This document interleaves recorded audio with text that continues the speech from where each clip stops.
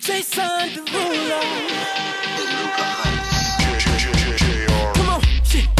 Everybody's